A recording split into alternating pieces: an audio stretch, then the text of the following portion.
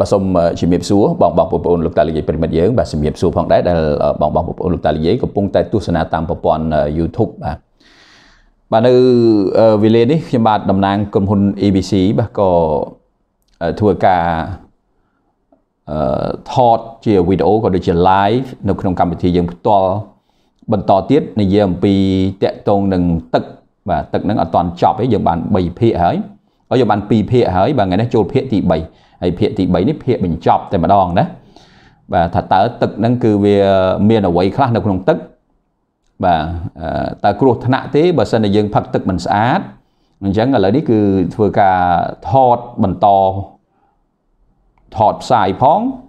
ហើយយើងមានការ live តាម Facebook ផងបាទអឺមុននឹងបន្តណាជាមួយនឹងប្រធានបទរបស់យើង ដែលកាលមុននិយាយទៅដល់សារជាតិក្ល នៅក្នុងទឹកនឹងវាមានគ្រោះថ្នាក់យ៉ាងណាយ៉ាងណាហ្នឹងគឺថាខ្ញុំបាទក៏រំលឹកឡើងវិញអឺការផ្សព្វផ្សាយរបស់បាទក្រុមហ៊ុន ABC យើងយើងមានការផ្សាយណាទៅតាម YouTube បាទទៅតាម YouTube YouTube ហ្នឹងយើងវាយពាក្យ EBC ពន្លឺសុខភាពបាទ channel បាទ channel YouTube ហ្នឹង EBC ពន្លឺសុខភាពបាទហើយ page ហ្នឹងក៏ចឹងដែរ EBC បញ្ជាក់ជូនផង EBC ហ្នឹងគឺជាភាសាអង់គ្លេស ហើយពន្លឺសុខភាពហ្នឹងអក្សរខ្មែរណាអញ្ចឹងបងបងប្អូនអាចអញ្ជើញចូលមើលណា EBC ពន្លឺសុខភាពបាទហើយនឹង page ហ្នឹងក៏ចឹងដែរ page ហ្នឹងគឺ EBC ពន្លឺសុខភាពដូចគ្នាណាបាទហ្នឹងវាយអក្សរអង់គ្លេសអក្សរធំក៏បានតូចក៏បានដែរវាយ EBC ឲ្យដក clear ពន្លឺសុខភាពដែរមួយទៀតគឺ page មួយទៀតនោះគឺប៉ាងលីហៅបាទជាឈ្មោះខ្ញុំបាទផ្ទាល់ណា page ប៉ាងលីហៅ បាទប៉ាងអ៊ីលីហៅហ្នឹងអក្សរអក្សរអង់គ្លេសណា P A N G ដក clear តិចទៅ L W E H O U V ហើយមានមាន page មួយទៀតគឺប៉ាងលីហៅដដែលហ្នឹងប៉ុន្តែថែម EBC ពីក្រោយដក clear តិចណាប៉ាងលីហៅហ្នឹងប៉ាងហ្នឹងគឺ P A N G ហើយដក clear តិចទៅ L W E H O U V ហើយដក clear តិចទៅគឺ EBC ណាអញ្ចឹង page ហ្នឹងគឺយើងមានទាំង YouTube ទាំងទាំង page បាទមួយណាក៏បានណាអាចបងបងប្អូនអឺអាចជួយចូលមើលណាបើសិនមានពេលទំនេរហ្នឹងអាចមើលព្រោះនៅក្នុងហ្នឹងគេបានបង្ហោះច្រើនណាស់តាក់ទងនឹងរឿងសុខភាពតាក់ទងនឹងរឿងផលិតផលបាទអញ្ចឹងកម្មប្រធានបទរបស់យើងនិយាយពីរឿងទឹកហ្នឹងបន្តហើយលេខទូរស័ព្ទមាន3ប្រព័ន្ធណាលេខទូរស័ព្ទមាន012ឬ015 98 11 25 បាទនេះតែប្រព័ន្ធហ្នឹង012ក៏បាន015ក៏បានហើយ98 11 25ហើយមួយខ្សែទៀត088 088ហ្នឹងថែមលេខ8មួយទៀតកតុយគឺ98 11 25 98 11 25បាទអញ្ចឹងនេះជាលេខទូរស័ព្ទរបស់ក្រុមហ៊ុន EBC បាទ បាទហើយឥឡូវនេះខ្ញុំបាទសុំបន្តណារឿងរ៉ាវទឹកហ្នឹងគឺយើងបានពីភាគឥឡូវចូលដល់ភាគបន្តទៀតអញ្ចឹងនៅក្នុងទឹកហ្នឹងគឺបាទនៅក្នុងទឹកហ្នឹងគឺថាមានអវ័យអវ័យច្រើនណាដែលយើងមិនអាចមើលឃើញនឹងភ្នែកបាទក្នុងក្នុងទឹកហ្នឹងមិនមែនឃើញថាថ្លាថ្លាអញ្ចឹងល្អទេណាបាទថ្លាច្រោះថ្លានោះដល់ច្រោះចោលអាហ្នឹងបានល្អបើមិនច្រោះទេអត់ទេអត់ល្អទេណាបាទហ្នឹងបញ្យល់ហើយបញ្យល់ហើយមើលក្នុងភាគទី1ទី2ទៅ អញ្ចឹងក្នុងនោះមានមានកកមានកបោមានលោហៈធាតុបាទតោះច្រោះអញ្ចឹងជាមួយធុងទឹកចម្រោះអីហ្នឹងអាហ្នឹងមិនបានបាទមានមានច្រើនប៉ុន្តែដើម្បីធ្វើឲ្យទឹកនឹងស្អាត ជាទូទៅយើងបាទជាទូទៅអឺយើងដាំទឹកពុះអានឹងរំលឹកឡើងវិញទៅណាដាំទឹកពុះនោះបានតែសម្លាប់មេរោគទេបាទសម្លាប់មេរោគសម្លាប់បាក់តេរីអីផ្សេងផ្សេងអានឹងបានហើយ100អង្សាសេវាស្លាប់ហើយមេរោគណា មេរោគបាក់តេរីប៉ុន្តែពួកលោហៈធាតុនោះមានមានស្លាប់អីវាពពួកថ្នាំផ្សេងផ្សេងមានស្លាប់អីវាវាមានជីវិតឯណាអត់វាអញ្ចឹងនៅក្នុងនឹងទាំងអស់នៅក្នុងនឹងទាំងអស់ហើយម្យ៉ាងទៀតតាមការសិក្សាពិនិត្យឃើញថានៅពេលដែលយើងដាំទឹកហ្នឹងឲ្យពុះហ្នឹងណាអ្វីដែលជាគុណវិបត្តិហ្នឹងគឺលោហៈធាតុហ្នឹងគឺកាន់តែកាន់តែវាមានភាពខ្លាំងក្លាបាទវាងាប់មេរោគបាក់តេរីអីមែនប៉ុន្តែលោហៈធាតុនៅក្នុងហ្នឹងកាន់តែខ្លាំងក្លាគេណា ណាសារធាតុផ្សេងផ្សេងអាហ្នឹងគឺជាទូទៅតាមការសិក្សាគេរកឃើញឲ្យពិតប្រកបបាទពិតប្រកបណាអញ្ចឹងនៅសប្តាហ៍យើងមានវិធីសាស្ត្រមួយទៀតគឺនេះលោហៈធាតុហ្នឹងណាលោហៈធាតុមានសំណមានស្ពាន់មាន mercury មានបារ៉ាត់មាន arsenic មាន cadmium គេណាអាហ្នឹងសារធាតុហ្នឹងអត់ទៅណាទេនៅក្នុងទឹកដដែលហ្នឹងដាំក៏ដោយមិនដាំក៏ដោយដាំហ្នឹងហើយដល់ឡើងអាសារធាតុហ្នឹងទៀតលបាយវាណាកម្ដៅវាណា អញ្ចឹងចង់បញ្យល់ជូនអញ្ចឹងចង់បញ្យល់ជូនបងបងប្អូនឲ្យឲ្យយល់អញ្ចឹងណាអញ្ចឹងវិធីសពថ្ងៃហ្នឹងគឺយើងមានវិធីមួយទៀតដែលគេធ្វើទូទាំងពិភពលោកហ្នឹងគឺបែបលក្ខណៈគេហៅថាបន្សុតឬមិនមែនបន្សុតទេអាហ្នឹងគឺថាធ្វើឲ្យទឹកស្អាតបើថាបន្សុតវាធ្វើឲ្យសុតណាអានេះអានេះមិនបន្សុតទេធ្វើទឹកស្អាតណាសម្រាប់មេរោគបាក់តេរីហ្នឹងគេប្រើក្លក្លហ្នឹងមានជាប្រភេទក្របថ្នាំអញ្ចឹងមានម្សៅមានមានទឹកមានមានប្រេងមានទឹកយ៉ាងហ្មងក៏បានដែរណា យកទៅប្រើប្រាស់ដាំតាមតម្រូវការប៉ុន្តែនិយាយរឿងទឹកសពថ្ងៃនៅលើពិភពលោកគេដាក់ក្លនឹងឯងហើយណាប៉ុន្តែកុំភ្លេចថាឥទ្ធិពលអាក្រក់របស់ក្លហ្នឹងក៏គ្រោះថ្នាក់មកយើងវិញដែរណែគេណាហើយការដាក់ក្លហ្នឹងវាងាប់មេរោគបាក់តេរីទឹកកកមកស្អាតអីអាហ្នឹងគឺស្អាតទេណាគឺគឺអាចអាចឃើញថាវាជាក់ស្ដែងហើយប្រសិទ្ធភាពរបស់វាណាទឹកល្អក់អញ្ចឹងទៅដាក់ក្លទៅថ្លាចេះណាងាប់មេរោគបាក់តេរីមួយចំនួនគឺគឺខ្លាំងដែរមិនអន់ប្រមាណទេ ប៉ុន្តែអ្វីដែលសំខាន់បំផុតអាលោហៈធាតុនោះដូចបានលើកឡើងមិញណាធាតុលោហៈធាតុអឺពពួកថ្នាំបាញ់សត្វល្អិតពពួកថ្នាំសម្លាប់ស្មៅពពួកស្អីអីនៅក្នុងដដែលទាំងអស់អត់ទៅណាទេអត់ទៅណាមិនមែនដាក់ខ្លោយវាហើចេញមិនមែនទេឃើញទេហើយបើនិយាយពីពពួកបារតនិយាយពីពពួកអាសនិកពពួកសំណអីនៅក្នុងនឹងទាំងអស់ទៀតណាអត់ទៅណាទេណាអញ្ចឹងខ្លោហ្នឹងវាមានគុណប្រយោជន៍ណាបានជួយមកផ្នែកធំ ក៏ប៉ុន្តែមួយផ្នែកទៀតក៏អត់ជួយបានដែរឃើញទេហើយម្យ៉ាងទៀតខ្លោខ្លួនឯងហ្នឹងក៏មានផលប៉ះពាល់មកវិញទៀតអាខ្លោខ្លួនឯងហ្នឹងណាផលប៉ះពាល់មកវិញអញ្ចឹងខ្ញុំបានបញ្យល់ច្រើនហើយកាលពីថ្ងៃមុនហ្នឹងគឺថាផលប៉ះពាល់របស់ខ្លោបើនិយាយពីផ្នែកធម្មតាសម្ផស្សក៏បាត់បង់ណាធ្វើឲ្យសក់រឹងធ្វើឲ្យស្បែកនឹងស្ងួតធ្វើឲ្យស្បែកនឹងគឺថារោលអានឹងផលប៉ះពាល់របស់ខ្លោហើយបើផឹកចូលទៅក្នុងខ្លួននឹងវាអាចទៅជាបញ្ហាមហារីកទៀតណាអឺ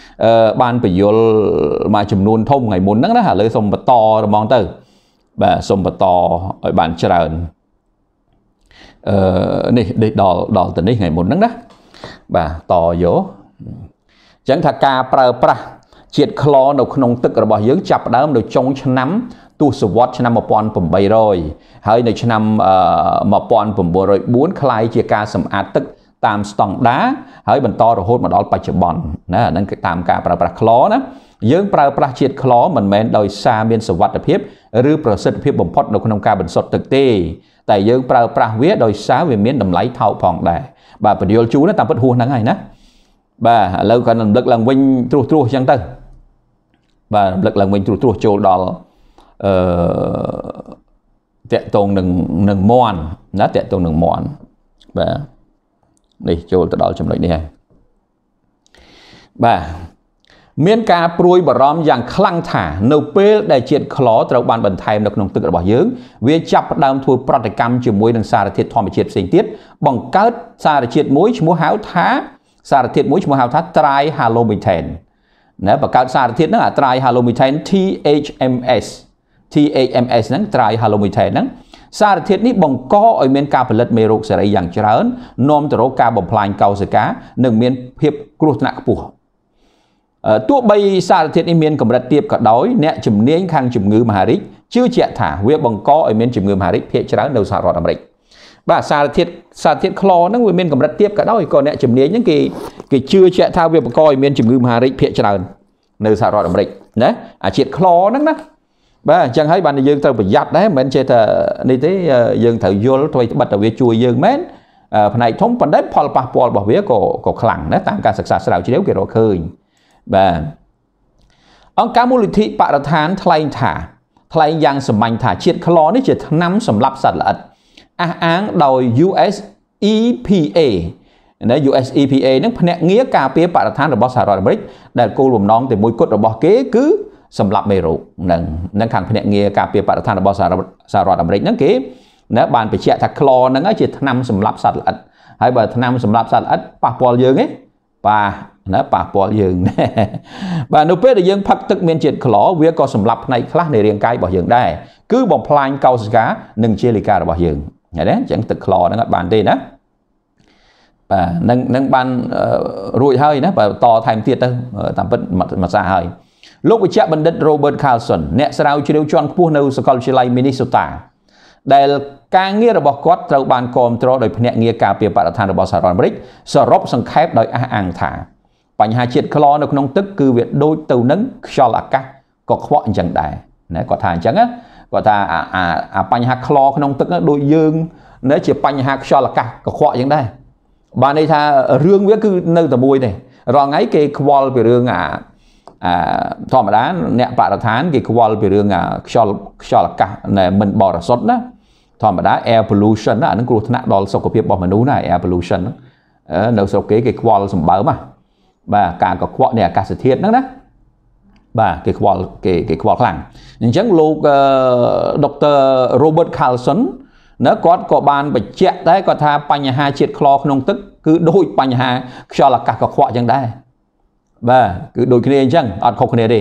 ណាហើយបានបន្ថែមថាជាតិខ្លក្នុងទឹកគឺជាឃាតករសម្ងាត់នៅសម័យទំនើបបាទគាត់ថាអញ្ចឹងឃាតករ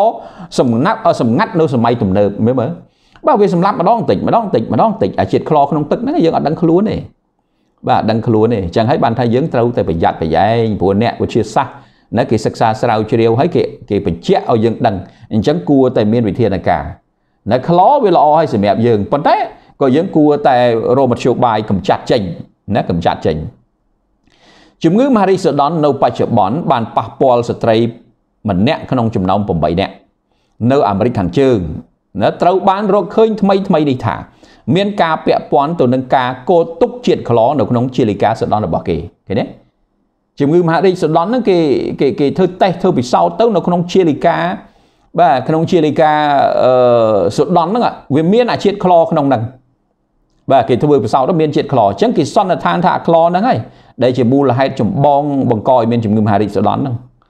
ណាអញ្ចឹងបានយើងគួរតែប្រយ័ត្នប្រយែងមែនទេណាបងបងប្អូនប្អូនលោកតានិយាយប្រិមិត្តយើងដែលបានទស្សនាហ្នឹងគួរប្រយ័ត្នប្រយែងការសិក្សាមួយធ្វើឡើងនៅ Hartford Connecticut ជាប្រភេទការសិក្សាស្រាវជ្រាវដំបូងគេបែបហ្នឹងនៅអាមេរិកខាងជើងបានរកឃើញថា ស្ត្រីមានជំងឺមហារីកសូដនមានកម្រិតជាតិក្លរហូតដល់50ទៅ60%ក្នុងជាលិកាសូដនរបស់គេបើប្រៀបធៀបជាមួយស្ត្រីមិនមានជំងឺមហារីកសូដនឃើញទេបាទគេយកជាលិកាសូដនទៅទៅទៅប្រៀបធៀបគ្នាអ្នកដែលអ្នកដែលមានជំងឺមហារីកសូដនហើយអ្នកដែលអត់មានជំងឺមហារីកសូដនអញ្ចឹងនៅអាមេរិកខាងជើងហ្នឹងគេសិក្សាស្រាវជ្រាវនៅតំបន់គឺ Hartford Connecticut ណាគេសិក្សាស្រាវជ្រាវទៅមើលឃើញថាជាលិកា ណារបស់សដន់ដែលដែលដែលដែលអ្នកជំងឺស្ត្រីមានជំងឺមហារីកសដន់ហ្នឹងមានជាតិក្លរហូតទៅដល់50 60%ហើយដល់ចំណែកឯអ្នកដែលអ្នកដែលអត់មានមហារីកហ្នឹងគឺគេមានតិចបំផុតហើយយើងដល់50 60%ខុសគ្នាណាខុសគ្នា50 60%ក្នុង100ឃើញទេអញ្ចឹងមិនធម្មតាទេណាដែលគេសិក្សាស្រាវជ្រាវហ្នឹងឃើញជាក់ស្ដែងអញ្ចឹងបងបងប្អូនប្អូនទាំងអស់ ដែលយើងគួរតែគិតគូរណាអញ្ចឹងហើយបាននៅក្នុងសម័យបច្ចុប្បន្នយើងអាសាឃើញ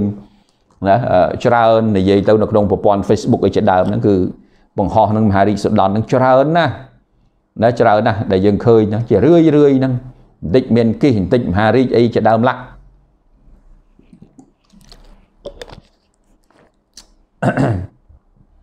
បងបងប្អូនគួរតែគិតគូរឡើងវិញណាតកតងបញ្ហាហ្នឹង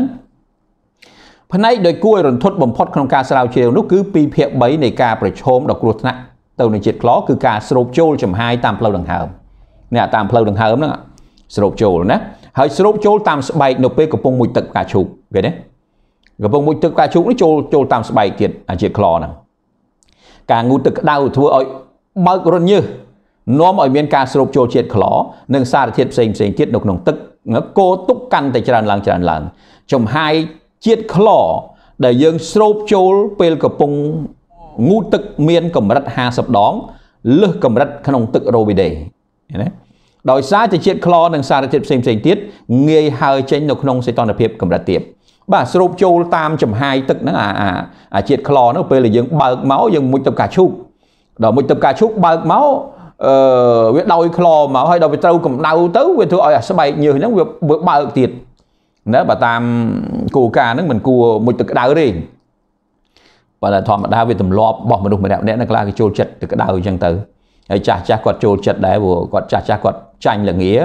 អញ្ចឹងគាត់ក៏ចូលចិត្តមួយទឹកក្តៅយ៉ាងដែរតែបើយើងនិយាយពីគោលការណ៍ហ្នឹងមិនល្អទេពីព្រោះធ្វើឲ្យរុនយើងនឹងបើកយ៉ាងនេះបើកទៅវាធ្វើឲ្យណាអាជាតិចំហាយខ្លក៏ដោយសារធាតុផ្សេងផ្សេងវាចូលណាអាហ្នឹងតាមគោលការណ៍ណាប៉ុន្តែគាត់ថាមនុស្សកិច្ចបំផុតទេពីរឿងអស់ហ្នឹងកិច្ចបំផុតទេ ការស្រូបចូលតាមផ្លូវដង្ហើមគឺមានភាពគ្រោះថ្នាក់ជាងការប្រឈមផ្សេងផ្សេងព្រោះឧស្ម័នជាតិខ្លោណាដែលយើងស្រូបចូលចូលផ្ទាល់ទៅកាន់ឈាមបាទស្រូបចូលតាមផ្លូវដង្ហើមគ្រោះថ្នាក់លឿនណាស់បាទព្រោះអាហ្នឹងបឺតផ្ទាល់ផ្ទាល់ទៅកាន់ឈាមហ្មងបាទនៅពេលដែលយើងផឹកទឹកមិនស្អាតជាតិពុលត្រូវបានច្រោះចោលដោយតម្រង់នោមណានិងប្រព័ន្ធរំលាយអាហាររបស់យើង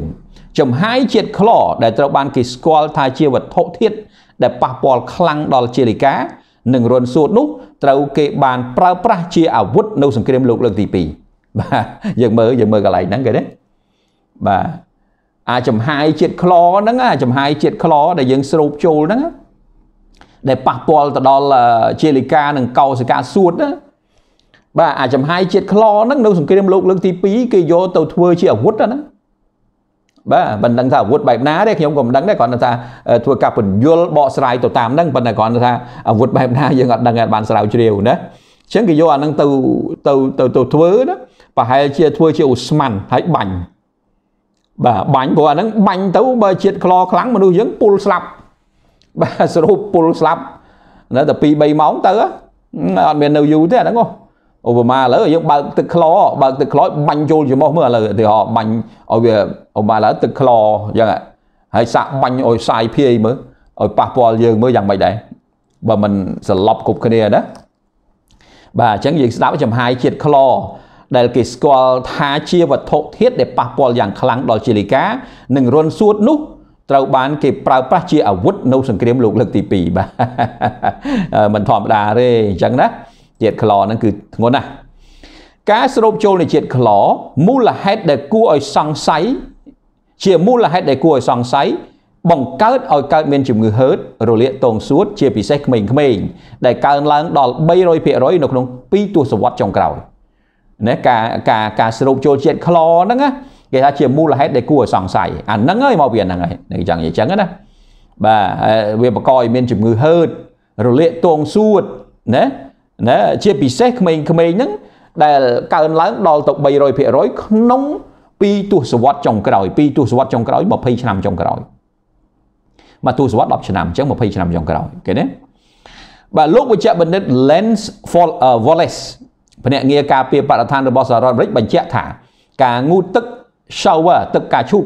ត្រូវបានសង្ស័យថាជាមូលហេតុចម្បងដែលបង្កើតឲ្យមានសារធាតុ chloroform យ៉ាងច្រើន នៅស្ទើរតែគ្រប់ផ្ទះទាំងអស់ដោយសារមានជាតិក្លក្នុងទឹកនេះឯងគេណាបាទការការមុជទឹកការឈូកហ្នឹងអាហ្នឹងហើយដែលវាបង្កើតព្រោះក្នុងគ្នាជាតិក្លគ្រប់តែផ្ទះហ្នឹងឯងនៅតាណាក៏ដោយមិនថានៅតាណាទេព្រោះនៅលើពិភពលោកនេះដូចបានបញ្ជាក់អញ្ចឹងថាការដាក់ក្លនៅក្នុងទឹកដើម្បីសម្អាតវាមានតាំងពីឆ្នាំ1800នៅឆ្នាំ1904គេคลายទៅជាការសម្អាតទឹកដ៏ស្តង់ដាណា ហើយការសិក្សាស្រាវជ្រាវដែលរកឃើញមានផលប៉ះពាល់នេះទឹមតែថ្មីថ្មីនេះទេណាអត់យូរមកហើយទេដូច្នេះមនុស្សប្រើរាប់រយឆ្នាំហើយ220ឆ្នាំហើយដែលប្រើប្រើអីប្រើហ្នឹងដោយសារអីដូចខ្ញុំនិយាយអញ្ចឹងប្រើក្លហ្នឹងដោយសារអីបើមានផលប៉ះពាល់អញ្ចឹងហើយដោយសារវាថោកពីព្រោះការចម្រោះទឹកជាជាលក្ខណៈទ្រង់ទ្រាយធំมันអាចយកស្អីទៅចម្រោះកើតទេធុងចម្រោះធុងអីបានតែតូចតាចហើយដល់ពេលចម្រោះមិនកើតបើវាជាមនុស្សរាប់លានអ្នកអីចេះ ណាតែធ្វើមិនមិនងាយទេ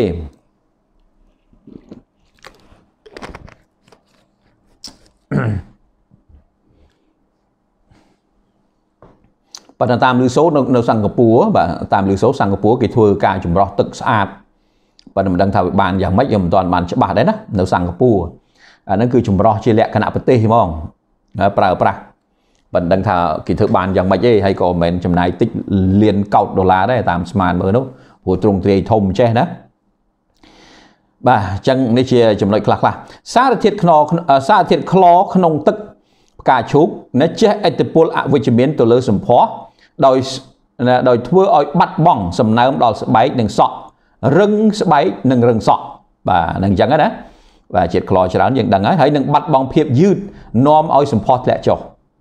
បាទអ្នកដែលងូតទឹកនៅក្នុងអាងទឹកដែលគេដាក់ក្លច្រើនអាចទទួលរងនៅស្បែករឹងរមាស់ស្បែកនិងរឹងសក់បាទហ្នឹងបើដាក់ក្លច្រើនអត់អត់នេះទេក្នុងទឹកយើងហ្នឹងមុជមុជច្រើនមើលនៅខ្ញុំបាទទៅទៅមុជនៅពីខាងនេះម្ដងពីខាងអូជាទៀលបាទសន្តាគារនៅក្បែរអូមុខអូជាទៀលហ្នឹង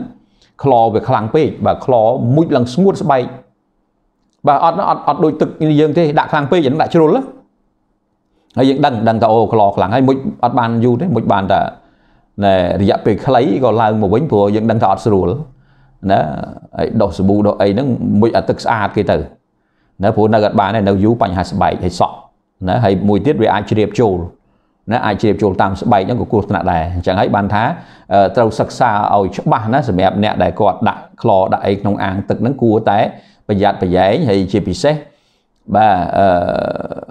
ដើម្បីសុវត្ថិភាពអ្នកដែលទៅផងគួរតែគិតគូរ ណាយល់ស្វែងយល់ពីរឿងក្លហ្នឹងច្បាស់ណាក្រៅពីប្រឈមគ្រោះថ្នាក់ដល់សុខភាពជាតិក្លនេះក៏បង្កឲ្យមានក្លិនមិនល្អនិងរសជាតិណាមិនល្អនៅក្នុងទឹកផងដែរប៉ុន្តែណាអានឹងអានឹងត្រូវហើយវាវាជាទូទៅយើងមើលណាក្រៅពីគ្រោះប្រឈមគ្រោះថ្នាក់ដល់សុខភាពជាតិក្លនេះបង្កឲ្យមានក្លិនមិនល្អបាទក្លិនអត់ល្អឃើញទេដូចកន្លងមកយើងជួបប្រទេសដឹងហើយបងបងប្អូនបានជ្រាបហើយថាយើងទៅហាង ស្រាប់តែណែទឹកសម្លអីជាដើមលាក់ទឹកតែអីទឹកផឹកជាដើមលាក់ហ្នឹងដែលគេដាក់ឲ្យផឹកហ្នឹងណាធុំក្លិនក្លហើយបាយក៏អញ្ចឹងដាំហើយយកមកដាស់ដួកដាស់ចានណាជាតិក្លហុយពេញហ្នឹងណាធុំក្លិនក៏ដាក់មួយម៉ាត់មកក្លពេញពេញពេញមាត់ឃើញទេអាហ្នឹងអាហ្នឹងជួបជួបប្រសោតហ្នឹងច្រើនណាណាអញ្ចឹងហើយបានថាក្លិនអត់ល្អទេហើយឆ្ងាញ់យ៉ាងណាក៏ដោយក៏លេងទៅរួចដែរណាបាទរសជាតិហ្នឹងក៏មិនល្អក្នុងទឹកហ្នឹង មានទឹកតែខ្លះចាក់មកផឹកទឹកក្លសុទ្ធរបស់បាទជាតិក្លសុទ្ធអញ្ចឹងហើយបងបងប្អូនប្អូនប្រជាពលរដ្ឋខ្មែរយើងគួរតែមានការយល់ដឹងណាពីរឿងរ៉ាវអស់នេះកុំឲ្យយើងអឺយើងគួរតែចម្រោះហើយជាពិសេសដូចជានៅតាមហាងនៅតាមតំបន់ណាជាពិសេសអ្នកលក់ដូរហ្នឹងអ្នកលក់បាយអ្នកលក់សម្លអ្នកហាងតូចហាងធំហ្នឹងខ្ញុំបាទនៅតែឲ្យយោបល់អញ្ចឹងថាគួរតែមានធុងចម្រោះមួយទៅ ណាវាមិនថ្លៃទេហើយម្យ៉ាងសុវត្ថិភាពខ្លួនឯងព្រោះខ្លួនឯងក៏ហូបហើយអ្នកដតីហ្នឹងក៏គាត់ចូលចិត្តដែរបើសិនតែបាយសម្លគាត់យើងធ្វើទៅវាឆ្ងាញ់វាអត់ធុំក្លិនក្លអីហ្នឹងគឺថាអឺថ្ងៃក្រោយគេមកទៀតហ្នឹងណាហើយដល់ចូលទៅធុំក្លិនហ្នឹងថ្ងៃក្រោយរៀងណាគេយ៉ាងគេដឹងយើងថាអត់មានបានចម្រោះបានសម្អាតអីយកទឹកណាយកទឹកដែលមានជាតិក្លមកដាំស្លហ្នឹងគេមិនចង់ថ្ងៃក្រោយគេលែងចង់អញ្ចឹងហើយបានថាគួរតែមានការយល់ណាសម្រាប់បងបងប្អូនប្អូនដែលអឺ ជាពិសេសខាងដាំស្លណាក្នុងហាងតូចធំអីក៏ដោយណាខ្ញុំបាទណែនាំនៅជ្រើសរើសធុងទឹកចម្រោះមួយដែលមានណាសមត្ថភាពក្នុងការចម្រោះជាតិក្លចេញហើយមិនមែនតែជាតិក្លទេចម្រោះរាល់អ្វីអ្វីដែលមិនល្អចេញឃើញទេអានេះតិចទៀតខ្ញុំបាទធ្វើការបញ្យល់ណាធ្វើការបង្ហាញជូនបាទប៉ុន្តែដំណឹងល្អសម្រាប់ក្លគឺវាជាសារធាតុងាយស្រួលក្នុងការកម្ចាត់ចោលបាទអត់ពិបាកទេអាហ្នឹងនោះឃើញទេហេតុដូច្នេះហើយ ណាអ្នកខ្លះការកម្ចាត់ចោលរបស់គេគេទុកណាគេដាក់ក្នុងអាងធំអញ្ចឹងទៅទឹកម៉ាស៊ីនហ្នឹងយកចូលមកដាក់ក្នុងអាងអញ្ចឹងទៅ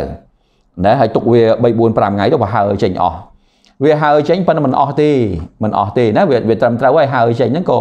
ប៉ុន្តែវាមិនអស់ទេគ្រាន់តែថាវាស្រាលណាវាស្រាលជាងមុនតែបើថាឲ្យអស់ហ្មងអត់អស់ទេណាហើយដូច្នេះបានជាជាតិក្លត្រូវបានប្រើប្រាស់បំពេញបំណងដោយដោយរក្សាទឹកឲ្យស្អាត ណាកម្ចាត់មេរោគបាក់តេរីនិងកម្ចាត់ជំងឺដែលកើតឡើងដោយសារទឹកជាច្រើនណាបាទអញ្ចឹងក្លហ្នឹងគេប្រើអញ្ចឹងគេណារហូតមកដល់បច្ចុប្បន្នហ្នឹងគឺថាដោយសារដោយសារវាវាងាយស្រួលកម្ចាត់ចោលនឹងផងវាងាយស្រួលកម្ចាត់ប៉ុន្តែយើងវាមិនព្រមកម្ចាត់បាទដោយសារខ្វះការយល់ដឹងឃើញទេវាខ្វះការយល់ដឹងអត់ព្រមកម្ចាត់ទេហើយងាយស្រួលកម្ចាត់ហើយមិនដឹងអំពីភាពគ្រោះថ្នាក់នៃក្លនឹងទៀត ណាសប្ងៃហ្នឹងមានអ្នកណាខ្លះដឹងដឹងពីភាពគ្រោះថ្នាក់នៃក្លហ្នឹងអត់ដឹងទេណានេះហើយដែលដែលគួរតែគិតគូរគួរតែប្រយ័ត្នប្រយែងណាបាទហើយអញ្ចឹងគួរតែចម្រោះចោលណាចម្រោះចោលតាមផ្ទះនីមួយមួយពីព្រោះការចម្រោះលក្ខណៈធំហ្នឹងវាអាចទៅរួចទេព្រោះទាំងប្រទេសมันអាចធ្វើបានទេគ្រប់ប្រទេសទាំងអស់តាមព័ត៌មានឮថាសិង្ហបុរីហ្នឹងគេប្រុងចម្រោះចេញអីហូហែហ្នឹងប៉ុន្តែមិនដឹងថាដល់កម្រិតណាផង មិនងាយទេព្រោះប្រជាជនមនុស្សច្រើន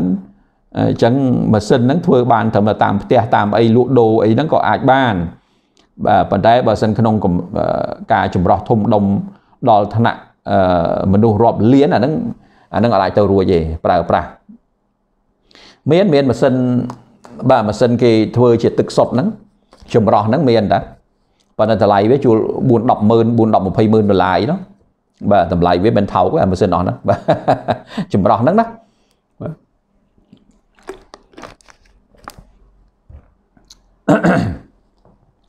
គ្មាននរណាម្នាក់តវ៉ាថាជាតិខ្លបំរើនៅគោលបំណងដ៏សំខាន់នោះទេ ហើយថាជាតិខ្លនេះមានគ្រោះថ្នាក់ទៅលើសុខភាពយ៉ាងណានោះដែរអត់អត់មានណាតវ៉ាទេសពថ្ងៃហ្នឹងមានណាអត់មានទេគេទេជាអញ្ចឹងទៅតាមធម្មតាអញ្ចឹងទៅបាទ ព្រោះអាហ្នឹងវាមិនមែនសម្លាប់យើងភ្លាមទេណាវាយូរ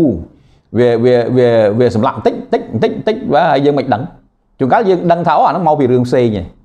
អាហ្នឹងមកពីគាត់មានជំងឺបេះដូងមកពីគាត់មានជំងឺមហារីកមកគាត់ស្អីស្អីចឹងផ្សេងណាបានន័យថាយកអាបញ្ហាហ្នឹងទម្លាក់ឲ្យរឿងផ្សេងណាតាមពិតជួនកាលវាធៀបផ្សំមកពីខ្លោហ្នឹងអញ្ចឹងបានថាសពថ្ងៃវាអត់មានអ្នកណាតវ៉ាជាតិខ្លោបំរើនៅគោលបំណងដ៏សំខាន់ទេហើយជាតិខ្លោនេះមានគ្រោះថ្នាក់ទៅលើយ៉ាងណាក៏អត់មានដែរគេទេ វាអត់មានការជជែកវែកញែកតវ៉ាគ្នាណាគំនិតដែលថាយើងគួរតែកម្ចាត់ជាតិខ្លោឲ្យបានឆាប់នៅក្នុងថ្ងៃអនាគតហាក់បីដូចជាមិនប្រកបបជាបាទវាអត់ណាអត់អត់អត់មានទេដូចថាវាមិនមិនមានអ្នកអើពើបាទទាំងអ្នកវិទ្យាសាស្ត្រទាំងអីហ្នឹងគឺថាមិនសូវមានណាអញ្ចឹងវាដោយសារវាស្រួលអញ្ចឹងវាទូទៅហ្នឹងទូទៅអញ្ចឹងវាធ្វើតាមផ្ទះរៀងរៀងខ្លួនណាការពិតយ៉ាងសាមញ្ញគឺថាជាតិខ្លទំនងជានៅទីនេះជាមួយយើងជារៀងរហូត បាទគេទេវាត្រូវនៅរហូតហ្នឹងឯងមើល220ឆ្នាំហើយនៅយ៉ាងនៅតាមផ្ទះនៅតាមភូមិនៅរហូតហ្នឹងអត់មានតាណារួចទេតែវាបង្ហាញយ៉ាងច្បាស់ថាវាពិតជាមានគ្រោះថ្នាក់ដល់សុខភាពរបស់មនុស្សដូច្នេះគួរតែចម្រោះចោលក្នុងផ្ទះនីមួយរៀងរៀងខ្លួនបាទអាហ្នឹងមានតែម្នាក់ម្នាក់ណាយើងគួរតែធ្វើខ្លួនឯងម្នាក់ម្នាក់ហ្នឹងបើតែចម្រោះចោលខ្លួនឯងអីខ្លួនឯងណាមានវិធីហ្នឹងឯងបើក្រៅវិធីហ្នឹងគឺថាយើងពិបាកណា បាទអញ្ចឹងឥឡូវនេះចូលទៅដល់វិធីកម្ចាត់ខ្លហើយនឹងលោហៈធាតុពីទឹកអឺក្រុមហ៊ុន ABC យើងយើងបង្ហាញនៅធុងទឹកចម្រោះបាទសម្រាប់ក្រុមគ្រួសារណាសម្រាប់ក្រុមគ្រួសារអញ្ចឹងយើងយើងមានធុងទឹកណាចម្រោះឈ្មោះហៅថា BioPure Ultra BioPure Ultra នេះរូបភាពនៅក្នុងនឹងស្រាប់ណាយើងឃើញ BioPure Ultra ណាបាទធុងទឹកចម្រោះនៅក្រោយចក្រានក្រោយបាទ អាហ្នឹងយើងយើងចម្រោះចោលយើងប្រើជាគ្រួសារដាក់នៅចក្រានសម្រាប់ដាំស្លអីចឹងបាទហើយហើយល្អណាស់ទឹកធុំធុំក្លិនឈ្ងុយឆ្ងាញ់បន្ទាប់ពីចេញពីធុងនឹងមកណាហើយបាន100%ចម្រោះបាន100%នៅជាតិខ្លហើយនឹងលោហៈធាតុផ្សេងផ្សេងទៀតណាអញ្ចឹងហើយបងបងប្អូនប្អូនទាំងអស់គួរតែបានណាប្រើប្រាស់នៅធុងទឹកហ្នឹងណានៅតាមផ្ទះនីមួយៗណាហើយមិនថ្លៃទេ យើងប្រើរាប់ឆ្នាំឯនោះណាប្រើជាមួយទឹកម៉ាស៊ីនយើងហ្នឹងត្រូវតែម្ដងណាអានឹងផ្ដាំផ្ញើដល់បងបងប្អូនប្អូនអញ្ចឹងអាចនឹងអញ្ជើញតាក់តងណាអញ្ជើញតាក់តងបើសិនត្រូវការហ្នឹងចម្រោះតិចតិចខ្ញុំបាទនឹងប្រសោតឲ្យមើលធុងទឹកចម្រោះ BioPure Ultra នេះមានចម្រោះ4ប្រព័ន្ធបាទមាន4ប្រព័ន្ធណាបាទប្រព័ន្ធប្រព័ន្ធទី1ទី2ទី3ទី4ណាអញ្ចឹងប្រព័ន្ធនីមួយៗវាមានសមត្ថភាពរបស់វានៅក្នុងការចម្រោះចោល ណាទប់មិនឲ្យចេញណាប្រព័ន្ធចម្រោះទី1គេហៅថា sediment filter បាទ sediment filter នេះគឺថាចម្រោះចោលរាល់សារធាតុណាដែលដែលមានទំហំរហូតដល់ដល់ប្រព័ន្ធ1មីក្រុងណាប្រព័ន្ធ1មីក្រុងគេណាតូចណាស់តូចណាស្មើនឹង1មីក្រុងនេះគឺស្មើនឹង តូចយកមែនតើមកស្មើនឹង3000មីលីលីត្រអើ3000មីលីម៉ែត្របាទមិនមីលីលីត្រយ៉ាងជាតិស្រេច3000មីលីម៉ែត្រតូចយកមែន3000មីលីម៉ែត្រជ្រាកណាគេណាតូចយកមែនតើអញ្ចឹងចម្រោះចោលនៅគេនៅពពួកអឺច្រេះណាពពួកផុកពពួកខ្សាច់ណាចម្រោះចោលទាំងអស់បានពពួកថ្នាំបាញ់អឺសត្វល្អិតថ្នាំសម្លាប់ស្មៅពពួកក្លណាចម្រោះចោលអស់អាហ្នឹងអត់មាននៅទេ ណាចម្រោះអាហ្នឹងអាហ្នឹងដំណាក់កាលទី1ណាហើយចម្រោះចោលក្នុងដំណាក់កាលទី1នេះហើយមិនមែនចប់ទេនៅនៅនៅនៅគេហៅថាប្រព័ន្ធចម្រោះទី2ប្រព័ន្ធចម្រោះទី2គេហៅថា organic granular activate carbon pre filter បាទពពួក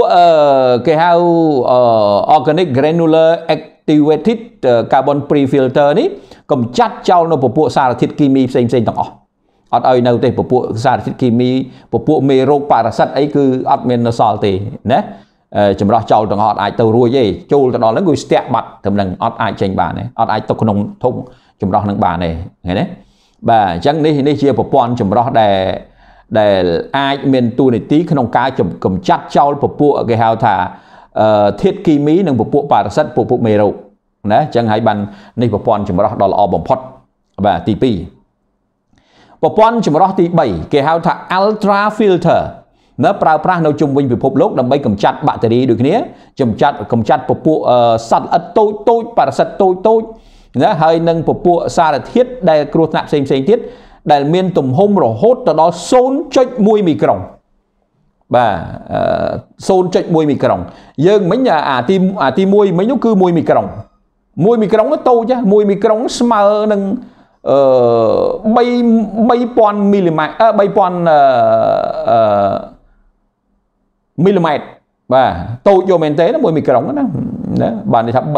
3000មីលីម៉ែត្របាទន័យថា1មីក្រូនហ្នឹងគឺមីលីម៉ែត្រហ្នឹងចែកទៅ3000ដងបាទចែកទៅ3000ដងមិនមិនមិនមិនមិននេះទេអានោះតូចយកមែនទេគេទេចង់បញ្ជាក់ជូនអញ្ចឹងណា បាទអញ្ចឹងអញ្ចឹងឥឡូវនេះគឺនៅក្នុងប្រព័ន្ធចម្រោះទី3នេះយើងយើងមានទំហំតូចគឺ0.1មីក្រូនទៀតបាទ0.1មីក្រូនទៀតអញ្ចឹងមានន័យថា3000មីលីម៉ែត្រហ្នឹងគឺថាតូចជាងនឹងទៀតគុណនឹងតតទៅបាទតូចនិយាយទៅតូចរហូតទៅដល់มันអាចនឹងថាសត្វល្អិតអីផ្សេងផ្សេងមិនអាចចូលបានទេពពួកបាក់តេរីពពួកសត្វល្អិតពពួកអឺ ស្អីស្អីហ្នឹងគឺថាចោលចម្រោះចោលទាំងអស់បាទអញ្ចឹងហើយបានថានេះជាប្រព័ន្ធចម្រោះទី3ណាដែលមានសមត្ថភាពចម្រោះបានល្អឥតខ្ចោះនៅក្នុងធុងទឹក BioPure Ultra ណាបាទនេះចម្រោះទី3ចម្រោះទី4ប៉ុនប្រព័ន្ធចម្រោះទី4នេះគឺជាប្រព័ន្ធចម្រោះដែលគេហៅថា Organic Granular Activated Carbon Pulse Filter អានេះគឺជួយឲ្យឲ្យមានរសជាតិនៅឆ្ងាញ់ណាជួយឲ្យមានក្លិនល្អ បាទជួយឲ្យមានរសជាតិឆ្ងាញ់មានរសជាតិក្លិនល្អណាអានេះគឺជាពិសេសជួយនៅក្នុងការដែលកុំឲ្យវាមានក្លិនអាក្រក់ឃើញទេអាប្រព័ន្ធចម្រោះទី4នេះណាតួនាទីរបស់វាគឺថាវាបន្ថែមក្លិនកែប្រែក្លិនព្រោះជាទូទៅកាលណាចម្រោះអស់ទៅអាក្លិនទឹកវាមិនសូវល្អទេណាអញ្ចឹងហើយបាននៅក្នុងគោលការណ៍ដើម្បីឲ្យក្លិនហ្នឹងមានរសជាតិឆ្ងាញ់ណាក្លិនហ្នឹងគឺថាវាអាចថា អឺប្រសើរណាទទួលទានទៅគឺថាវាអត់ចម្លែកអត់ស្លិចឆ្លេមអីស្លេមអីណាអាហ្នឹងគឺថាប្រព័ន្ធចម្រោះទី4នឹងឯងណាអញ្ចឹងហើយក្នុងការផលិតមកនេះគឺគេមានឧបករណ៍គេហៅថាប្រព័ន្ធចម្រោះដល់ទៅ4ចម្រោះធុងទឹកចម្រោះខ្លះដែលខ្ញុំមានបទពិសោធន៍មកណាយកមកទទួលទានហ្នឹងគឺថាអត់ឆ្ងាញ់បាទទឹកអត់ឆ្ងាញ់ទេអាហ្នឹងបទពិសោធន៍កន្លងមកណា អឺមួយយ៉ាងទៀតទុកអត់បានយូរទៀតធុងទឹកចម្រោះខ្លះទុកអត់បានយូរទេទឹកហ្នឹងយកមកទុកតែ3ថ្ងៃស្អុយបដ ாய் បាទអានេះជាក់ស្ដែងអាហ្នឹងមាននៅក្នុងការិយាល័យអាហ្នឹងប្រភេទធុងទឹកហ្នឹងប្រសោតទៅគឺគឺស្អុយទឹកហ្នឹងទុក3ថ្ងៃក្នុងដបស្អុយបដ ாய் ណាចម្លែកអញ្ចឹងបានថាឥឡូវហ្នឹងគឺអត់អត់បានចាញ់អាធុងទឹកចម្រោះណា BioPure ម៉ាក BioPure Ultra ហ្នឹងទេអញ្ចឹងហើយបងបងប្អូនប្អូនទាំងអស់បើសិនតែត្រូវការណាទឹកស្អាតហើយខ្ញុំបាទនៅតែឲ្យយោបល់អញ្ចឹងថា រាល់អ្នកលក់ទាំងអស់បាទអ្នកលក់បាយអ្នកលក់ម្ហូបអាហារផ្សេងផ្សេងដែលប្រើប្រាស់ទឹកបាទអឺនៅហាងតូចហាងធំអីជាដើមឡាក់ហើយជាពិសេសនៅផ្ទះខ្លួនឯងមួយមួយណាគួរតែមានប្រព័ន្ធចម្រោះបាទហើយបើរោប្រព័ន្ធចម្រោះណាអត់បាននោះគឺថាអញ្ជើញមកប្រើប្រព័ន្ធចម្រោះណា Mac BioPure Ultra ហើយងាយស្រួលបាទងាយស្រួលប្រព័ន្ធចម្រោះនេះស្រាល បាទនេះរូបរាងណាអញ្ចឹងអាចអញ្ជើញតាក់ទងមកមានលេខទូរស័ព្ទមានអីនៅក្នុង YouTube នឹងហើយបាទហើយសំខាន់ទៅទៀតប្រព័ន្ធចម្រោះធុងទឹក Mac BioPure Ultra របស់យើងទទួលស្គាល់ដោយវិទ្យាស្ថាន Pasteur នៅរបស់ប្រទេសកម្ពុជា នៅពេលដែលយើងយកទឹកទៅពិសោធន៍ណាយកទឹកទៅពិសោធន៍គេណាបាទនេះជាលិខិតទទួលស្គាល់ណាលិខិតទទួលស្គាល់ណាដោយវិទ្យាស្ថាន Pasteur នៃប្រទេសកម្ពុជាណាដែលគេធ្វើការពិសោធន៍ទៅឃើញថាទឹកនឹងស្អាតណា នេះពិសោធន៍ទៅឃើញទឹកនឹងស្អាតគេណាបាទបាទអឺយើងឃើញថាសារធាតុទាំងឡាយដែលជាទូទៅមានភាពគ្រោះថ្នាក់ណាត្រូវបានពិសោធន៍លទ្ធផលចេញមកណាដូចទៅ tubility ជាទូទៅកម្រិតដែលល្អតាមស្តង់ដាគឺឲ្យតូចជាងឲ្យតូចជាង2បាទឲ្យតូចជាង2ហើយដល់តែយើងពិសោធន៍ទៅគឺ0ហ្មងអត់មានហ្មង អត់មានអាសារជាតិអឺ turbidity នឹងទេគេណាអដូចជាកម្រិតអាស៊ីតកម្រិតអាស៊ីតតាមស្តង់ដាល្អអាហ្នឹងគេឲ្យចន្លោះពី6.5ទៅ6.6.5ទៅ9ដែលអាហ្នឹងតាមស្តង់ដាណានៅខាងវិទ្យាសាស្ត្រ Pasteur យើងហៅថា in Institute បារាំងភាសាបារាំងណា Institute Pasteur ដោយកម្ពុជាណាភាសាបារាំងហ្នឹង បាទហើយនិយាយពីកម្រិតអាស៊ីតហ្នឹងគឺថាគេឲ្យ6.5ទៅ9 6.5ទៅ9អាហ្នឹងល្អអាហ្នឹងកម្រិតអាស៊ីតក្នុងទឹកហ្នឹងណាហើយធុងទឹកចម្រោះយើងចម្រោះទៅគឺលទ្ធផលចេញមក6.9អញ្ចឹងវានៅក្នុងហ្នឹងនៅក្នុងស្តង់ដាគេទេដែលដែលមានការពិសោធន៍ច្បាស់លាស់មកឃើញនៅស្តង់ដាណាហោសារធាតុ chloride chloride នេះគឺជាសារធាតុមួយដែលមិនល្អដែរសម្រាប់មនុស្សយើងអត់ល្អទេ លទ្ធផលជាទូទៅល្អគេឲ្យតូចជាង250ហើយយើងលទ្ធផលដែលផលិតមក9.6ហ្នឹងអញ្ចឹងតូចនោះមហាសែនតូចមិនមែនតូចតិចតួចអីតូចតូចសឹងតែអស់ទៅហើយវាសឹងតែអស់ហើយណាអូសារធាតុអាម៉ូនីអាម៉ូញ៉ាណាសារធាតុអាម៉ូញ៉ាឬអាម៉ូនីសារធាតុនេះគឺគេឲ្យតូចជាង0.5អាហ្នឹងគឺស្តង់ដាដែលមិនគ្រោះថ្នាក់ កម្រិតកំណត់ដោយដោយដោយស្តង់ដាមិនគ្រោះថ្នាក់ហ្នឹងគឺ0.5តូចជាង0.5ហើយយើងប្រហែលទឹកយើងគឺចម្រោះហើយនៅសល់0.03 0.003គេណាអញ្ចឹងគឺថាចម្រោះនោះសឹងទាំងអស់ហើយអត់មាននៅសល់អត់មានអត់មានផលគ្រោះថ្នាក់ទេនេះហើយដែលជាចំណុចមួយដែលយើងគួរតែបានប្រើប្រាស់គ្រប់គ្នាណាអសារជាតិ nitrate ណា nitrate ណា nitrate នេះគេឲ្យយើងស្តង់ដាតូចជាង0.1ណាតូចជាង0.1អានឹងសារធាតុ nitrate ហ្នឹងណាហើយដល់ទៅពេលយើងចម្រោះហើយយកទឹកហ្នឹងទៅពិសោធន៍មើលណាឃើញថា0.05ណា0.05យើងយើងមើលមើល0.05វាតូចយកមែនតើណាបាទតូចយកមែនតើណាអសារជាតិនីត្រាតនីត្រាតនេះគេឲ្យតូចជាង50 អីដល់ពេលលទ្ធផលចម្រោះយើងប៉ុន្មាន0.14ហ្នឹងណា0.14គេឲ្យតូចជាង50ហើយតូចជាង50វាត្រឹម49ក៏ក៏វានៅល្អហើយចុះតម្រាំយើងយើង0.14ហ្នឹងយើងមើលមើលវាខុសគ្នាយ៉ាងម៉េចទៅខុសគ្នាមេឃនឹងដីណាអញ្ចឹងហើយបានថាអឺការចម្រោះនេះគឺថាល្អយកមែនទែនអសារធាតុមួយទៀតគឺគេហៅ hardness hardness នេះរួមបញ្ចូលលោហៈធាតុ បាទលោហៈធាតុផ្សេងផ្សេងជាច្រើនដូចជាមានសំណដូចជាស្អីស្អីអស់ហ្នឹងណាបាទរ៉ត់ឬក៏ស្អីស្អីអស់ហ្នឹងមកកំ pl េហ្នឹងបាទតាមស្តង់ដាគេឲ្យតូចជាង300ណាតូចជាង300បានន័យថាល្អហ្នឹងហើយយសួរយើងបានយើងធុងទឹកចម្រោះរបស់យើងដែលយកទឹកទៅបសោតទៅគឺអឺនៅសល់តែ40ទេហើយគេឲ្យតូចជាង300យើងមើលមើលតូចជាង300 290ក៏តូចជាងដែរ250ក៏តូចជាងដែរគេទេហើយចុះឥឡូវយើងនៅសល់40ណា ឃើញឃើញឃើញល្អទេណាល្អល្អយ៉ាងខ្លាំងហ្មងមិនល្អធម្មតាទេណាបាទអូអឺមួយទៀត iron iron លោហៈធាតុដែកជាតិជាតិដែកអាជាតិដែកនេះមិនជាតិដែកអាហាមប៉នអាដែកលោហៈនេះណាបាទជាតិដែកហ្នឹងគឺគេឲ្យ0តូចជាង0.2តូចជាង0.2អាហ្នឹងតាមស្តង់ដារបស់គេណាអីសួរថាចុះយើងលទ្ធផលយើងប្រហែល លទ្ធផលយើងគឺ0.03បាទ0.03ហើយគេថាតូចជាង0.2ហើយ 0. លេខ2បដ ாய் ដល់នេះ0.03ណាបាន1ផងបាន0.1ផង0.03នោះបាទអញ្ចឹងហើយនេះគឺជា លទ្ធផលធ្វើតេស្តទឹកណានៅវិទ្យាស្ថាន Pasteur របស់ប្រទេសកម្ពុជាយើង ដែលទទួលស្គាល់បញ្ជាក់ដោយសន្និដ្ឋានសរុបថា គុណភាពទឹកនឹងគឺថាមិនប៉ះពាល់ទៅដល់សុខភាពទេគេណាល្អទទួលស្គាល់ល្អគេណាអញ្ចឹងហើយបានថាធុងទឹកចម្រោះ ដែលមានប្រព័ន្ធ4នៅខាងក្នុង Mac BioPure Ultra នេះគឺពិតជាល្អ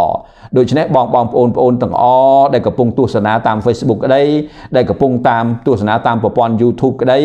ណាគឺថាគួរតែប្រើប្រាស់ខ្ញុំបាទនៅតែទទូចថាឲ្យប្រើប្រាស់ពីព្រោះវាប៉ះពាល់ណាណាជាតិក្លជាតិអីយើងមើលមើលងាយងាយឯណាក្លរ៉ៃនេះជាតិក្លរ៉ៃក្លរីនហ្នឹងគេទេគេឲ្យគេឲ្យប្រមាណមិញតូចជាង250ហើយយើងតា9ចុចហ្នឹង9.6ហ្នឹង យើងមើលមើលគេថាតូចជាង250ហ្នឹងมันប៉ះពាល់ទេអាហ្នឹងក្នុងស្តង់ដាគេណាបាទហើយយើងមិន9.6ហ្នឹងនេះជាតិក្លហ្នឹងគេទេហើយយើងមើលមើលខុសគ្នាមេឃដីមើលអញ្ចឹងហើយបានថាចម្រោះចោលឥតខ្ចោះបាទជាមួយនឹងសារជាតិក្លហ្នឹងណាអញ្ចឹងបងបងប្អូនគួរតែបានប្រើប្រាស់នៅធុងធុងទឹកចម្រោះមួយនេះណាបាទឥឡូវយើងមើលលក្ខណៈពិសេសនៃធុងទឹកចម្រោះរបស់យើង ទី1ទម្ងន់ស្រាលតើតើ4គីឡូជាងទេតែ4.4គីឡូទេណាទំហំនឹងតូចល្មមមិនប៉ះពាល់កន្លែងអត់ប្របាក់ដាក់ណាអត់បាក់ដាក់ថាអេឥឡូវធំពេកដាក់ទៅនេះដាក់ទៅនោះស៊ីស្ពេសអីអត់មានទេស្រួលណាស់បាទស្រាលណាទី2សីតុណ្ហភាពទឹកណាផលិតហើយធម្មតាអត់មានថាអូផលិតមកសីតុណ្ហភាពទៅក្តៅទៅត្រជាក់ជ្រុលអីអត់ទេល្មមយកប្រើប្រាស់ធម្មតា ហើយបើយើងចង់ក្លាសេចង់នេះដាក់យកទឹកទៅក្លាសេទៅមានស្អីណាបាទប្រព័ន្ធចម្រោះនេះមាន4ចម្រោះណាមាន4ប្រព័ន្ធបាទមាន4ប្រព័ន្ធអញ្ចឹងដូចបានបញ្ជាក់ទី1ទី3ទីប្រព័ន្ធចុងក្រោយប្រព័ន្ធសម្រាប់បង្កើនរសជាតិទឹកណាហើយបើទឹកខ្លះដែលចម្រោះហើយអូផឹកអត់កើតទេបាទរសជាតិខ្លះចាញ់ទេបងបាទហើយអាអត់បកើណាគេហៅ make better taste ហ្នឹងណាអាទឹកនៅវារសជាតិឆ្ងាញ់ហ្នឹងណា អានឹងទុកអត់បានយូរទេព្រោះមានធុងទឹកចម្រោះរបស់គេថ្លៃថ្លៃហើយអឺបាទថ្លៃខ្ញុំមានទិញនៅដាក់ office ណាសម្រាប់នេះហើយទុកមានបានណាទុកដល់3ថ្ងៃស្អុយមកទឹកនឹងផឹកលេងកើតធំក្លិនហ្មងបាទអញ្ចឹងហើយបានថាហើយបើម៉ាក់បាយ pure តាទុកមកស្រឡាញ់អត់ចេះខូចដោយគុណភាពទឹកបាទនេះនេះចង់បញ្ជាក់ជូនហើយអត់អត់ប្រើអគិសនីទេបាទអត់ប្រើភ្លើងទេអត់មានប្រើអគិសនីចាំបាច់ថាអស់ភ្លើងអស់អីទេស្រួលអញ្ចឹងណា គេនេះយើងដាក់នៅក្បែរចក្រានអញ្ចឹងដាំស្លដាំបាយដាំអីលាងអង្គអីហើយបានប្រើគឺថាណែឆ្នាំងហ្នឹងអត់ខ្មៅទេណាឆ្នាំងហ្នឹងគឺថាអត់ខ្មៅអត់ជាប់លោហៈអត់មានទៅក្រហមទៅមិនខ្មៅទេក្រហមអធិស្ឋានបាទឆ្នាំងហ្នឹងលាងមកស្អាតចេះប្រើ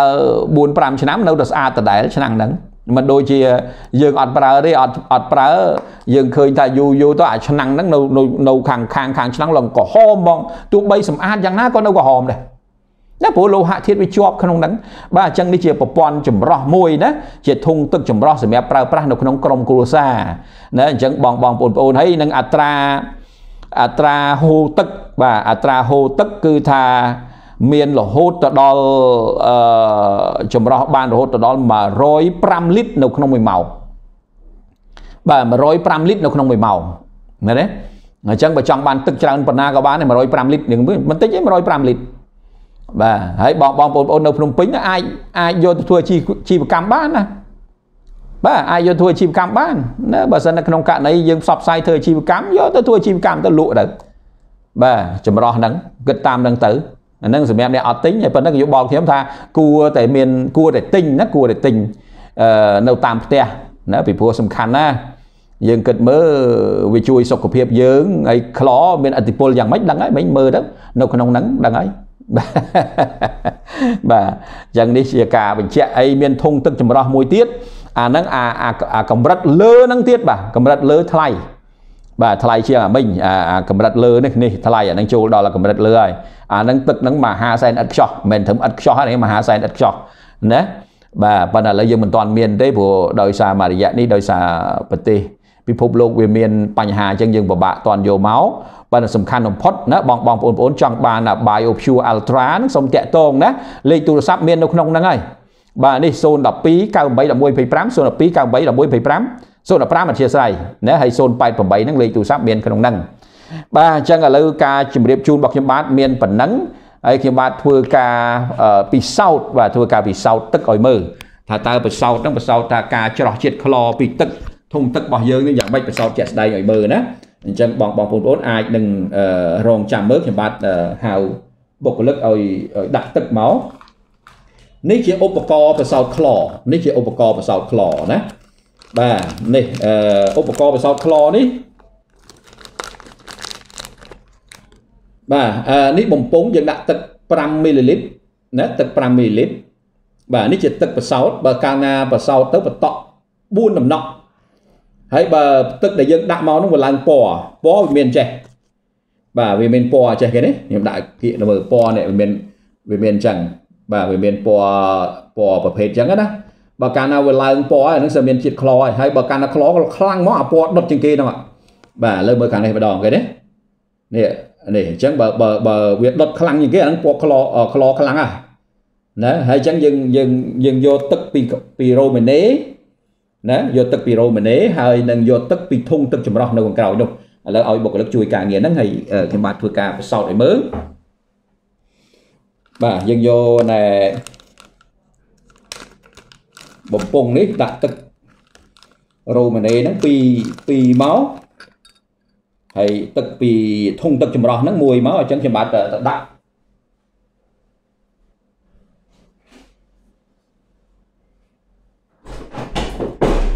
មកជួយជួយដាក់ទឹកផ្សោតតិចនេះអានេះអានេះយកពីធុងទឹកចម្រោះកុំយ៉ាក់ច្រឡំនេះអាពីរនេះក្បាលរ៉ូម៉ាណេអឺ ជុំជុំជុំវាដាក់ជុំបាទឥឡូវឥឡូវបាទខ្ញុំខ្ញុំសុំថតណាហើយត្រឡប់ណាកន្លែងត្រឡប់ត្រឡប់ណាអត់ឃើញអូអាហ្នឹងត្រឡប់អត់កើតទេព្រោះអាហ្នឹងយើងថាថតហើយអឺអញ្ចឹងអញ្ចឹងចេះយកទៅឃើញធុងទឹកអធិស្ឋានផងបាទឥឡូវដាក់ចេះវិញណាដាក់ចេះបាទនេះនេះនេះនេះនេះ នេះនេះឃើញមើលខំវិធីហ្នឹងហើយអញ្ចឹងបាទដាក់ធ្វើ5មកបានហើយ5ហ្នឹងបានណាឥឡូវមកកាន់ទៅកាន់ទៅហើយនៅយកធុងទឹកយកទឹកនេះមកបាទនេះទឹកដែលដែលចាក់ពីធុងទឹកមិញហ្នឹងបាទនឹងប្រហែលជាអ្នកមើលវល់អត់ជាស្រ័យផងណា បាទអញ្ចឹងខ្ញុំបាទនេះនេះទឹកមិញហ្នឹងយើងទឹកហ្នឹងបាទទឹកសិនអឺទឹកសិនណាជប់ជប់ជប់ជប់ឥឡូវដាក់នេះសិនឥឡូវជួយទាញនេះចេញទាញទាញចេះយកល្អដកភ្លើងចេញសិនណាយកដាក់ដាក់មកចាំសិន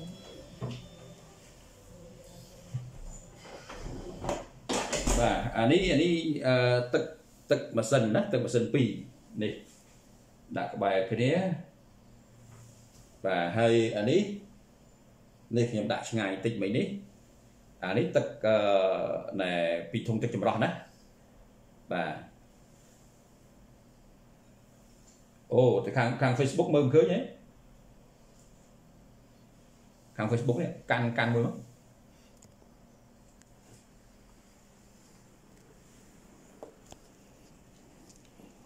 ឥឡូវវាដាក់មើលនេះឃើញឃើញវាឃើញ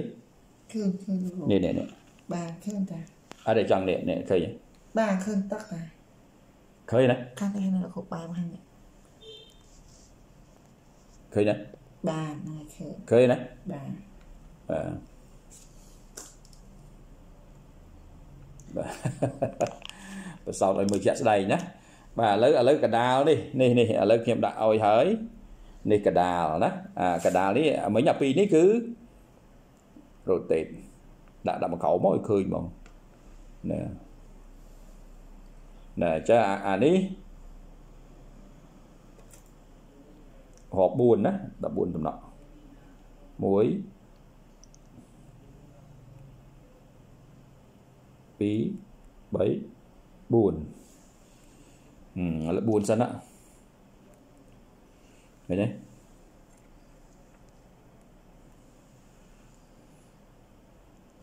4នេះចាប់ដើមឡើងឡើងឡើងពណ៌គេឡើងពណ៌គេពណ៌ខុសគេបាទអាអានេះអានេះគឺក្លគេមានជាតិក្លណាមានជាតិក្លអាហ្នឹងពីពីរ៉ូម៉ាណេណាពីពីរ៉ូម៉ាណេហើយនេះ អានេះពីធុងទឹកចម្រោះមិញនេះតាវាតឯងអាពីនេះពីរ៉ូម៉ាណេណាណាគេគេឡើងឥឡូវឥឡូវដាក់អាធុងទឹកចម្រោះនេះធុងទឹកចម្រោះនេះអឺជប់ច្បាច់វា1 2 3 4គេដែរនឹងធុងទឹកចម្រោះ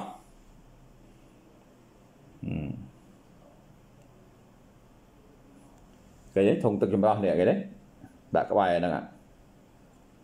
អត់ឡើងទេឃើញទេបាទនេះថាក្លោអត់មានទេបាទហើយឥឡូវអាឆ្ងាយអាឆ្ងាយមិញនេះអានេះក៏ធុងទឹកចម្រោះដែរអឺណែមែនទេអានេះក្បាលរ៉ូម៉ាណេដែរទឹកក្បាលរ៉ូម៉ាណេ1អីយ៉ាចង់អស់ហ្នឹង1 2 3 4បា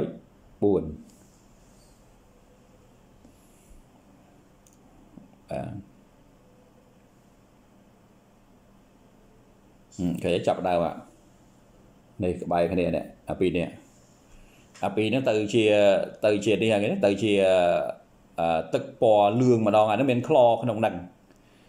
ណាហើយហើយក្លប៉ុណ្ណឹងតែ5មីលីលីត្រហ៎ហើយចុះតំបំយើងផឹកតង្កែវតង្កែវរាល់ថ្ងៃណាហើយទោះបីដាំពុះក៏ដោយក៏នៅតែមានជាតិក្លហ្នឹងណាទោះបីដាំពុះក៏ដោយ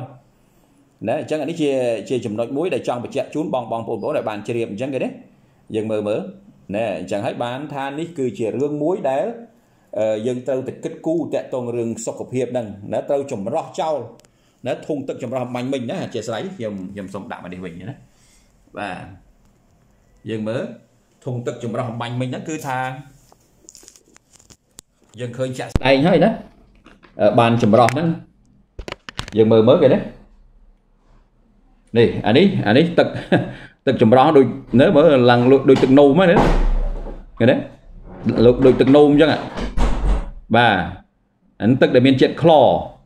ឃើញទេអឺពណ៌ពណ៌វាពណ៌វាទៅជាជាលឿងណាពណ៌ទៅជាលឿងហើយហ្នឹងតែ5មីលីលីត្រផងហើយចុះមួយកែវមួយកែវដែលយើងផឹកទៅមិនអីឥឡូវមើលអានេះអានេះទឹក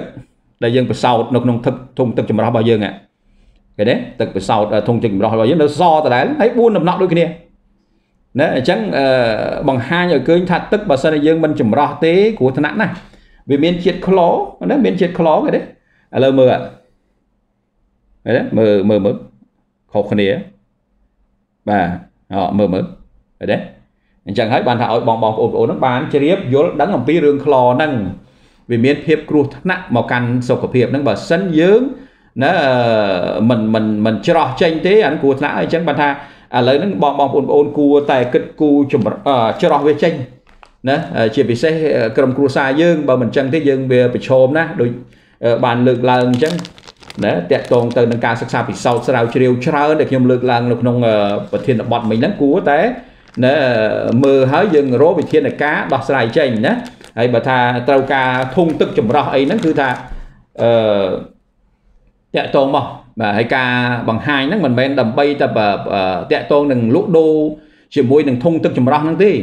គឺដើម្បីឲ្យយល់ដឹងទាំងអស់គ្នាប្រយោជន៍ទាំងអស់គ្នាជាពិសេសហ្នឹងគឺសុខភាពឲ្យដឹងថានឹងវាប៉ះពាល់ដែរវាមានគុណប្រយោជន៍សម្រាប់យើងប៉ុន្តែវាប៉ះពាល់ដែរអញ្ចឹងយើងច្រោះវាចេញទៅគេណាទុកកាន់តយូកាន់លឿងណាទុកកាន់តយូកាន់លឿងគេណាបាទអញ្ចឹងហើយជាតិខ្លហ្នឹងមិនមិនធម្មតាដែរហ្នឹងបាទអញ្ចឹងឥឡូវនេះជម្រាបជូនប៉ុណ្ណឹងទៅចោះណាបងបងប្អូនទាំងអស់ សូមតាក់ទងណាសូមតាក់ទងបើសិនត្រូវការណាតាក់ទងមកក្រុមហ៊ុន EBC យើងមានធុងទឹកចម្រោះហើយការតឲ្យ free អត់គិតលុយទេការតធុងទឹកឲ្យណាតាក់ទងតាមប្រព័ន្ធទូរស័ព្ទអំបញ្ញមិញបាទអញ្ចឹងសូមអរគុណសូមជម្រាបលាប៉ុណ្ណឹងជួបគ្នានៅប្រធានបទថ្មីៗទៀតបាទ